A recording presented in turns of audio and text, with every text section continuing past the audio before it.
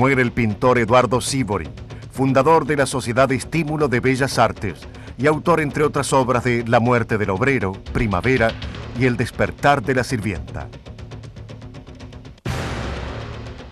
El gobierno argentino anuncia la reanudación de las relaciones diplomáticas con la Unión Soviética, interrumpidas desde la Revolución de 1917. El ministro de Economía del gobierno de María Estela Martínez de Perón, Celestino Rodrigo, lanza un severo ajuste por el cual los combustibles aumentan un 187%, las tarifas eléctricas un 50% y la moneda se devalúa un 100%. Las consecuencias del plan se conocieron con el nombre de El Rodrigazo. Muere en Buenos Aires la bailarina clásica y coreógrafa Marina Ruanova.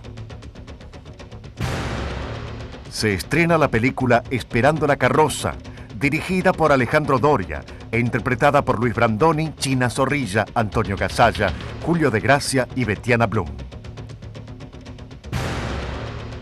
En el Día Mundial del Medio Ambiente, la comunidad del pequeño pueblo de Gastre, en la provincia del Chubut, se moviliza para decirle no a la instalación de una planta de residuos nucleares en esa localidad.